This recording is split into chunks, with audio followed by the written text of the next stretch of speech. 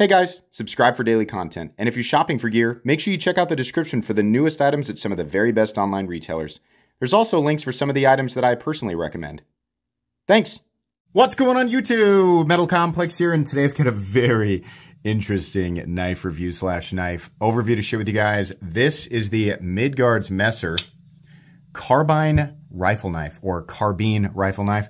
Truthfully, no matter how I say that, somebody corrects me and tells me it's the other way. I think it's carbine, but ah, who knows? Thanks so much to uh, Tools for Gents and Midgard's Messer for supplying this knife for review. Thanks to my patrons for supporting me, and please make sure to follow me on Instagram at metal underscore complex.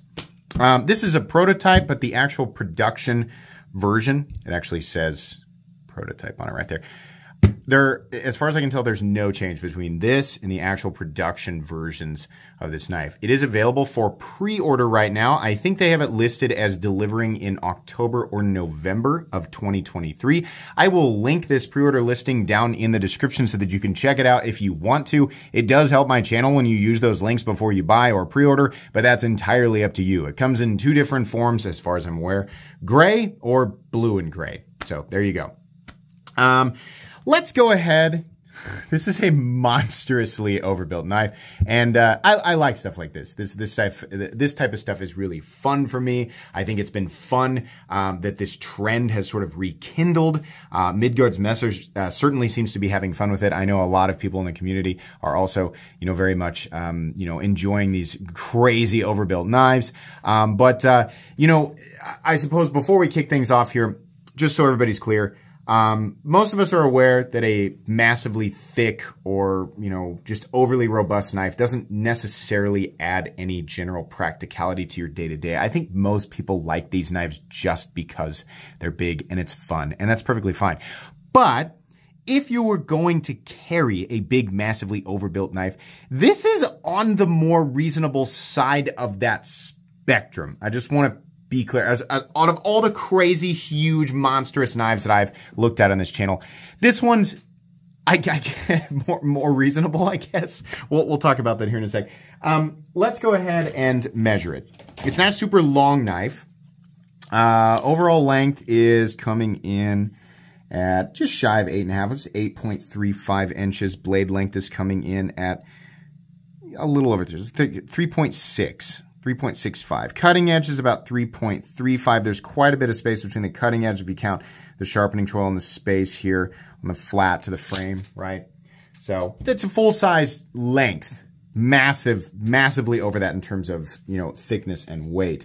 Let's go ahead and first off, I'm going to do some size comparisons against some other Midgard's Messer knives. Not all of them, but some because I do have a bunch here. So let's put it up like against the Viking. This is a knife that I would consider to be a bit more difficult to carry. You certainly could, but it's much larger. So you can see what I mean here. And then here it is up against its little brother, the more practical version. This is the Mini Viking. So it's kind of, it's a little longer than the Mini Viking. Um, I mean, it's, it's quite a bit longer, right? But the blade's nowhere near as tall. Um, definitely shorter than the um, the regular size Viking. And then also, I forgot to take the pin out of this one, so excuse me one second here. The um, Let's do the Midgard's Messer Beowulf. Not quite as overly robust as this big boy here it's my understanding if you're seeing these things and you're like, wow, I've never seen these before. These are awesome. Are they available? They are periodically available. Um, it depends on what run they're doing, what generation they're doing, but um, these monstrous, uh, you know, Midgard's Messer knives are very often, when they are available, they are usually found at Tools for Gents. So that's the link in the description.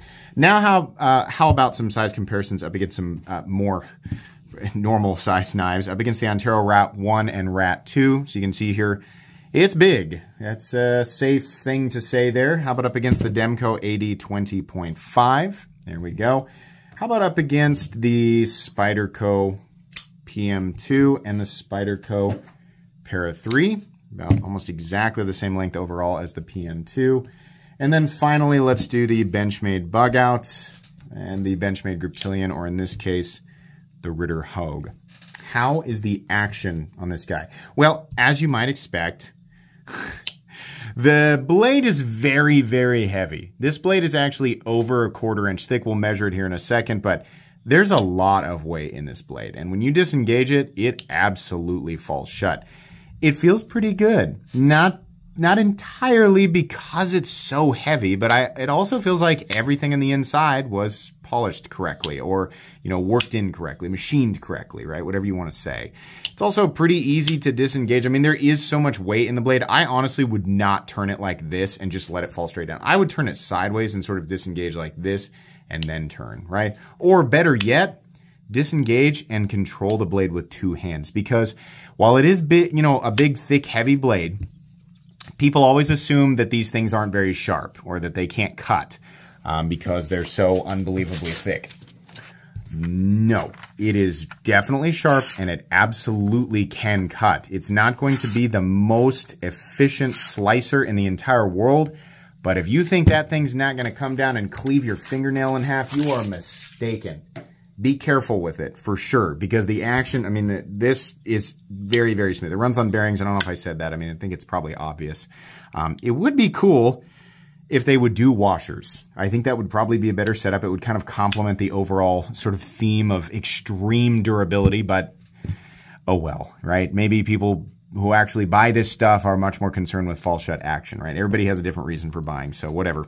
But the action is very good. You can also, if you get in just right, you can use that fuller to reverse flick it, but it's kind of smooth, so you really have to dig at it. It's not a super reliable way to open this. It's my understanding, a lot of people have speculated that the reason they do it like this, they, won't, they don't make a distinct, you can sort of front flip it, they don't give it a distinct opening mechanism is because of the laws in like Germany and the European area. A lot of that area prohibits a knife with a one-handed opening mechanism, like something obvious like a thumb stud or a flipper tab, right? So it might be that this is getting around that. I don't know, right? A lot of those areas also prohibit locking knives, which even without the excess locks, which this definitely has, we're going to talk, this knife has three different locks. We're going to talk all about it. But um, this knife definitely locks out with a simple frame lock initially, right? I mean, it's very robust frame lock, but it, it definitely does. So I, I don't know. I've never actually had that confirmed, but I, I mean, that, that would kind of make sense to me. So but anyways, yeah, the action's good. How about carry profile? Should we do that? Okay, thickness up against the Spyderco Para, uh, Para 3. It's almost twice as thick. Um, so that's that's going to be something you'll notice. Length and height up against the PM2 and Para 3. Yeah, it's uh, about the same length as the PM2 and certainly at least as tall. It's going to be a heavy object. Let's go ahead and weigh it. I think I did a video where I talked about weight, like my favorite overbuilt knives, which this absolutely is one of them now. Um, it's, it's heavy. Maybe not as heavy as some of you might have assumed, but it is nearly 10 ounces. If you put this in your pocket, you're gonna notice it. Unless you have exclusively been carrying monster knives. But if you haven't and you're expecting to carry this thing around, for a little bit you're gonna kid yourself ah, it's not that bad. I, you know, I can carry it, right? And then three or four times your pants falling down in public, you're gonna go, maybe Metal Complex was right, right? Wear a belt is what I'm saying. Um, let's go ahead and do, well, I would get out my tools, which are very inexpensive and very recommendable. You can find them right down in the section of my description that talks about the tools I use in this channel. But they are Torx. I have some hex sets, but this is all hex, right? Gigantic, which is fine. Uh, I think they, um, I think Torx is better because they don't, they don't get like gnarred up quite as bad, but you can. Uh, this is, it's, it's set up with a free spinning pivot, so you're going to have to have one in each side, like the big Allen keys, right?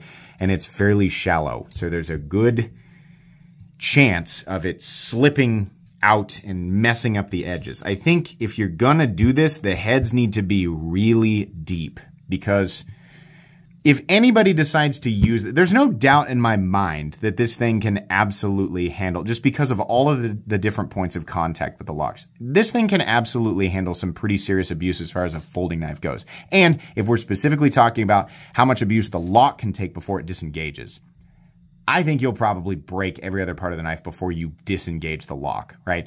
Um, so if the knife actually gets used that way, it's likely that at some point you'll need to adjust things. And if you need to adjust things, the the head depth is pretty shallow, so that might be a little bit frustrating for some people. Um, I would like to see. It's not just a problem with Midgard's Messer. I think a lot of companies would benefit. I mean, their their buying audience would benefit from the heads being deeper, so the tools can engage better. I don't know about you guys, but the number of times that I have slipped off of a fastener, oh, I can't even count. And sometimes you end up running your hand into the blade, right? Or something else, right? People yell, well, that's why you take safety precautions beforehand, like me. Oh, yeah. Okay, shut up. But everybody has done that, right? So it's it's one of those things where it'd just be a, quality of life improvement, um, for sure. But okay, um, they didn't go crazy. There's actually a not a ton of hardware on this thing. You have um, a screw in here holding in the backspacer slash well, it's not really the, it's one of the stops, but, but uh, the, the stops are actually attached to the blade. So you've got this, the backspacer back here, which I believe the tang of the blade actually does contact. So we have three points of stability in the stop. Um, but those screws are holding in the spacer. These screws are holding in the spacer. This screw is also going into the spacer. Same here. So we've got three on each side. Not terrible, right? And they're all large size at least. That's good. And then you have one clip which holds the pocket clip in, but it's actually located here um, which is kind of neat. We'll talk about that here in a second. Um, so if you do need to take this apart, it shouldn't be massively complicated. Uh, as long as you have the right tools and you're careful and steady with your hand, you should be okay. Um, let's go ahead and measure the blade stock here. Um, I thought for sure it would be about the same as their other knives, which ends up being like 230 thousandths, like just shy of a quarter inch. This guy is actually bigger. 277 thousandths. That clears a quarter inch. Yes, it is thicker than the thickest production Medford Praetorian, the Praetorian Ti, not the T. It's substantially thicker than the T, but it's also thicker than the Ti. For some reason, there's always somebody who brings that up. Yes, this is thicker in uh, the blade, and actually, I think the scales are at least the same thickness, if not thicker, right? Um, I think there's overall material, uh, more material on the Praetorian Ti, but the um, the thickness of the stock here is definitely very, very thick. We've done the hardware check, we've done the weight, we've done the measuring of the blade stock thickness. Should we move into the meat and potatoes? I think so. So what's the deal with this thing? Why do they call it the carbine rifle knife? Well, it has this sliding bar thing. Um, so you'll notice that there's a hole in the blade here. I'm not sure why it runs all the way out here, but okay. It also, you can see it right there right? And you come back here and it sort of disappears underneath this area. Well, that area is where this sliding like bolt action bar thing comes out of. So you can see here, you sort of kick this up, run it forward, and there's this big long bar that comes out. Why it's pointy, I have no idea, right? You could use this to like, you know, safely pop balloons or whatever if you want. It's not really that sharp. But that goes quite a ways into the blade. Uh, this goes into the whole of the blade and then you bring this bar over here and it securely actually takes quite a bit of force to get it down there. That's not coming back out of this position unless you move it. So now the blade is locked out by the frame lock, which has substantial contact, right? And it's locked out by this thing, right? Now, furthermore, just like other Midgard's Messer knives, it has another locking pin, which goes here and adds another contact point. Another way for the blade to stay locked out. So we have the blade contacting the very large backspacer. We have two pins attached to the blade, um, locking out or, you know, stabilizing, contacting uh, either side of the titanium frame. We have this pin holding the blade in place. We have the frame lock, and we have the the carbine or the carbine lock. It's not going anywhere. It's not gonna disengage. I mean, I, I can I can beat on this thing all day. I'm not gonna do anything crazy here. I can beat on this thing all day. It's not going to go anywhere. I mean, anything beyond that is unnecessary anyway, right? Um, and, you know, without the pin lock, uh, and without this additional, like, carbine slide lock thing here, the thing locks out completely and totally solid. Most of the time, you're not going to need that because you're holding that frame lock in anyway, right? But if you're about to do something wild and crazy, if you're all about that life, right? If your knife is your grappling hook and all this other nonsense that people pretend, right? Yeah, it'll hold out, right? Without, I mean, you know, you can't talk about this stuff without somebody bringing up the cold steel triad lock. They're gonna. I'll make the same argument I always do. Um, it's all overkill.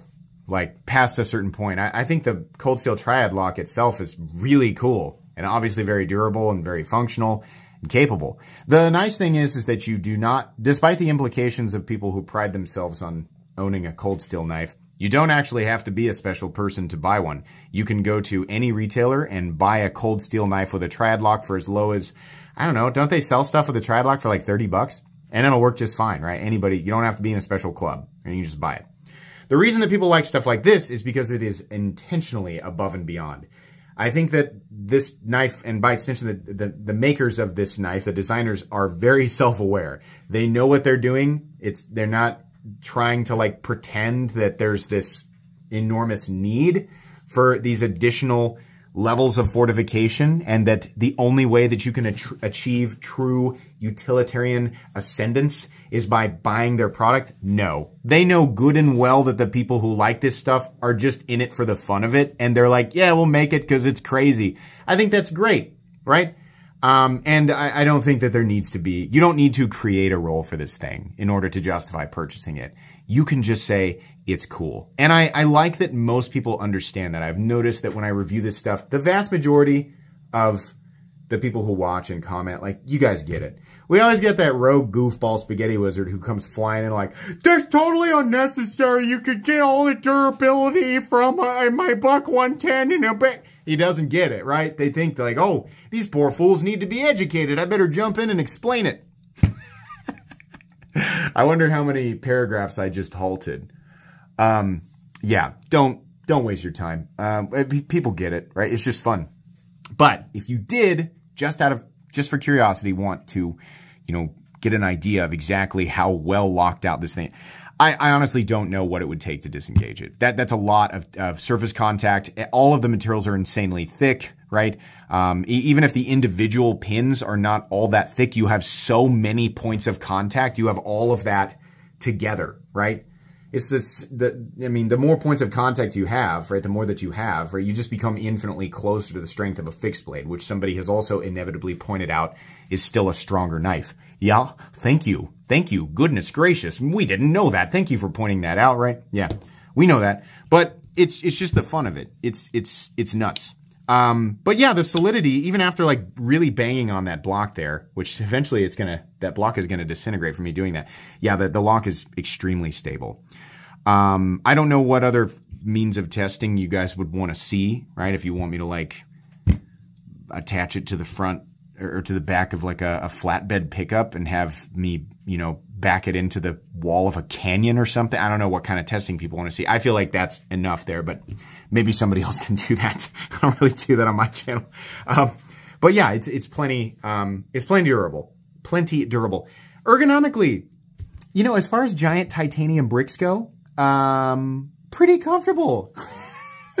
it's just really big. I mean, it, it feels like a brick, but as I've said many times in other reviews, it's a cozy brick. The edges are all nicely knocked down.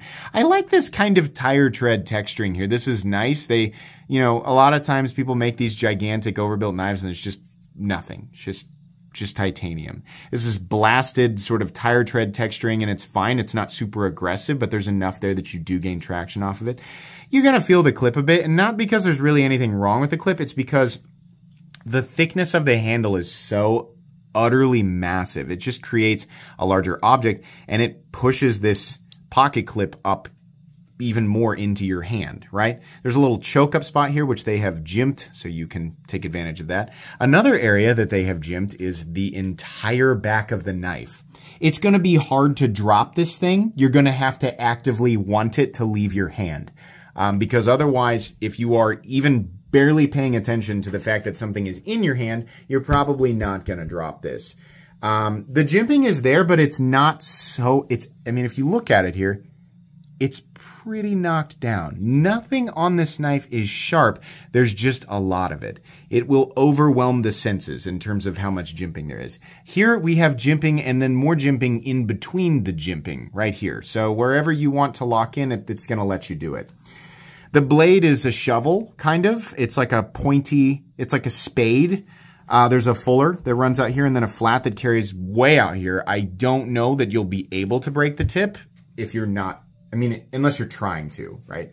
You could go bang it into the concrete like a caveman and probably mess the tip up, but under natural circumstances, I doubt it. I, I really think that it's it's pretty robust. It's made of CPM D2. We've talked about this many times. Midgard's Messer loves to use CPM D2 for those of you who don't know, CPM D2 is not the same thing as ingot D2. CPM D2 is the powder formed version of D2 and absolutely has benefits in terms of performance. You have even, even carbide distribution as, and because D2, the composition does depend on carbide formation, having those carbides form evenly will help the edge maintain its sharpness longer, right? Some people say there's the added toughness, and I guess because the grain structure's even. I don't know. I'm not a metallurgist. It's it's it's anywhere from marginal to oh, it's kind of a little bit better, right? If it's properly heat treated. I think um, you know, it's not just. I mean, I thought this initially, but I've heard a lot of people give feedback on this. I think most people would prefer something different, especially this price point. Um, S45VN would be a decent choice for a stainless uh, steel, but if, you know, they obviously are not super concerned with having a stainless composition because they have D2 here, which is close, 12% chromium. 3V would probably be a better choice. Uh, Cruwear, I think there's a number of other things, but CPM D2, um, eh, you know, there's a lot in this knife. Obviously, there's a lot of materials, you know, um, it's uh, it's not really the steel that people want to see here. Is it the worst choice for this? No, it will work just fine. This knife, as long as it's properly maintained, will absolutely function. There's nothing wrong with CPM D2, but the preferences of the actual buying audience, right? People who don't plan to buy it, I mean, I guess your opinion is an opinion and you can leave it there. But as far as people who are actually interested in buying this product, I think that they would prefer a different steel. And I think those three would all be good choices. S45VN, CPM3V, Cruwear would be great choices. I think it might make the price of the knife go up a little bit, but I, I think that people would, would still be, would it would be preferable. I would like to see a different finish other than Bead Blast. Um, you know what my favorite finish is that they've done? This one. Holy crap. Can you do this more often? I mean, the Viking, the Viking finish, that tumbled finish is gorgeous, and it will still, um, it will, it will actually re, um, uh, resist corrosion better than a blasted finish. Uh, it'll slow down drag, which is to be there because it's a thick blade. Um, and, and I think it looks better. And uh, because it's actually tumbled, it will still uh, wear really well over time. I, I just think that would be my preference, but I, you know, different people have different preferences. This says the carbine rifle knife. Okay, it probably doesn't need to be on the blade, but it's there. We have the Midgard Messer logo. It says CPMD2, and then on the other side, it also says the carbine rifle knife, which is definitely overkill in case you forget and you flip the knife over, right? And then we also have the Midgard's Messer logo again, and then this one says prototype, which yours won't, but all right. Um, the fit and finish, symmetry of everything, seating in the hardware, this is all really good. Everything looks really nice. I really don't have a problem with anything. Um, it looks professionally machined, and I, I, think that's great. You know, at this price, it, it really should be. There is uh, this. This is a backspacer, by the way, the thing that houses the um, the carbine um, sliding pin thing, which is just really fun. I've never seen anything like that. That's really what makes this so fun. Uh, there is a backspacer. It's huge. Balance, I don't know that it's even... I mean, you know what's funny is they actually did mill this for weight reduction. That's, that was nice of them. Um, but um, yeah, eh, there's a backspacer. Lots of weight in the handle. I think if we really do want to know about balance, it's really not bad. Wow. Um, there's a lot of weight in the blade. You know, I mean, steel. Steel weighs more than titanium. So we're, we're right there actually where your index finger is going to be. So, all right, if that matters to you. There's a lanyard thing, which, you know, this is one of those knives where it might actually make sense. So there you go. The pocket clip is only mountable for uh, tip up right-handed people. So sorry, left-handed people. It operates on a hinge, which is kind of cool. I, I, like that. That actually does make it easy to get into the pocket, stay securely in the pocket, and get back out. And this screw right here is how they, you know, give you access to it, which is really cool. It slides in and out of the pocket with ease because you can hold onto this hinge back here and lift the entire clip above the seam of your pocket, push it in, and then release it, which is really nice. The only other time I've seen that is on a hawk knife. I don't know if they're the first ones to do it. I don't know I, I honestly don't know. I think it's a good idea. Uh, I think uh, there are a lot of pocket clips that would be made better with this springy hinge thing. But yeah, that's nice. Um, we do have a steel lock bar insert that doubles as the over travel. So the general fortifications there. Um, stop pins, we already talked about that. The lockup is absolute. I'm sure you guys could get, there's no, it doesn't move. it doesn't move and without, without the level two and level three locks that are not engaged right now, it, it doesn't move at all. Um, there's actually no lock stick on this, which is nice. Um, I, uh, I've had some Midgard's Messer knives that have had some lock stick. This one doesn't, so that's really cool. Um, let's see, lockup percentage, a natural, like if we lock it out really hard, we're looking at here, which looks early, but there's still an enormous amount of surface contact there. And if you actually look at the underside of the tang, I think you can see where it's actually contacting. There's quite a bit. Um, there is no pivot lash at all. This is nice and smooth and consistent in here, and the detent is, it's pretty strong actually, uh, which is as it should be. You don't want this thing flopping out everywhere. And the centering on this prototype at least is perfect with no detent lash. This is really cool. It's really fun. I, uh, I am somebody who collects practical knives. I'm somebody who collects budget knives. I'm somebody who collects super expensive practical knives. And I'm somebody who collects super expensive impractical knives. I like overbuilt knives. I like all different types of knives, right? But I really like a good, chunky, mega stupid overbuilt knife. Um, this one is absolutely one of my favorites. I think it's just ridiculous. And I think it really does that well. they went for ridiculous and they nailed it. They didn't just go, look at this next thick knife we made, right? Which is, it's becoming more common. Like companies are periodically doing this where they're like, we made a thick knife too. I think it's fun to do crazy locks. The price, they want 350 euros for this, so you'll have to, you know, adjust. There's a lot of material here. I can tell you this, if this was in 3V, S45VN, or Cruwear, I would say hands down, that is a, that, that's great. I don't have any problem with that. It's not terrible at 350. I think people who, a lot of people who buy this stuff are far less concerned with what the blade composition is as long as it's not something stupid like 440C or 8CR 13MOV. Um, but it's still going to be kind of a, eh, you know, but okay, I really I'm buying it because it's a big, crazy, overbuilt thing. And if that's who you are, you will love this. If you're somebody who really has a problem with certain materials at certain price points, it might bum you out a little bit. Everybody who I've shown this knife to has just gone, holy mo, I've never seen a pocket knife that thick, right? This is one of those things where it's almost, it's just a fun conversation piece. You know, if you're the knife guy where you work and you got a few people who are like, hey, let me see what you're carrying, right? Because you're the guy who has all the weird knives. This is going to be something that's going to make people want to check it out, right? It's, it's a conversation piece. It's fun. It's ridiculous. If you're not a fan of overbuilt knives or you're a stickler about materials and certain price points, this is definitely not for you. Uh, and it's certainly not for everybody. This was not made to appeal to everybody. It was made to appeal to people who like the crazy overbuilt stuff. So that's who should pick it up, right? But for everybody else, Mm, it's a fun, weird thing that exists. I'm glad it does. This is absolutely one of my favorite overbuilt knives that exists, and I, I think it's great that Midgard's Messer is still doing this. Um, huge fan of, of their work, and I can't wait to see what they're going to come out with in the future. That's going to be pretty much it today, guys. Like I said, I'll link the pre-order for this down in the description if you are interested.